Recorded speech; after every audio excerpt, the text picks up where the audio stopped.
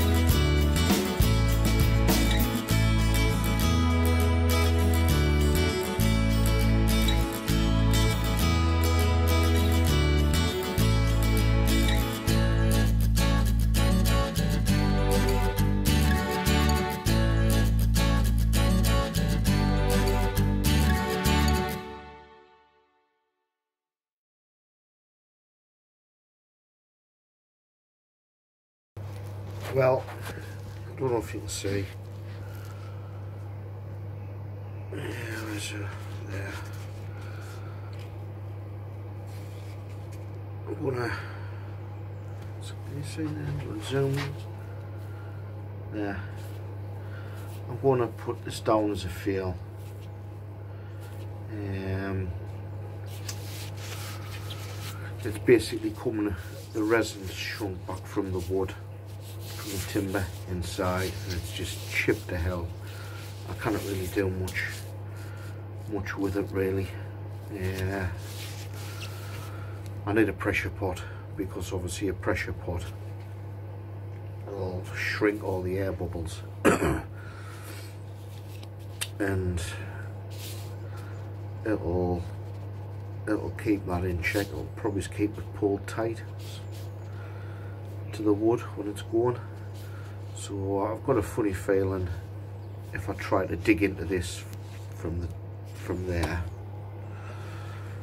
to hollow it out it's just going to it's just going to explode. There's not enough. There's not enough there and bits that come off it like that just come off the end. And that's pretty there that was on. There then that shot off. And you can see it is pretty it's pretty brittle. So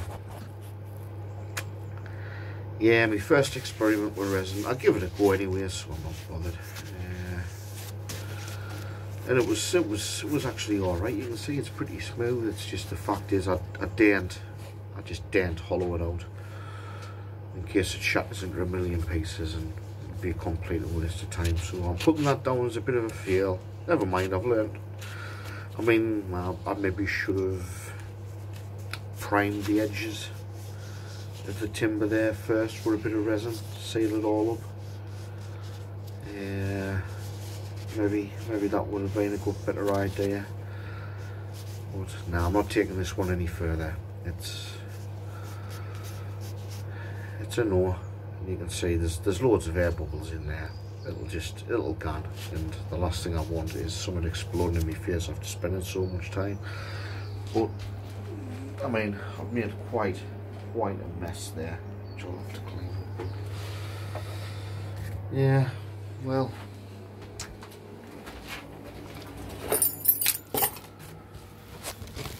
Never mind. Uh,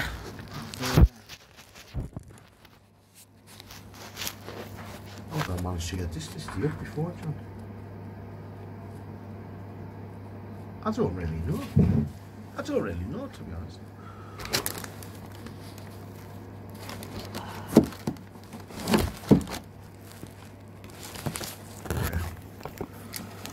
So, yep. put your hands up. That's not going to work out very well. I can see it now and well you live and learn don't you? It's the whole point of it, it? It's the whole exercise. Well, I, I hope you enjoyed watching that. Even though I couldn't out. I'll just stop.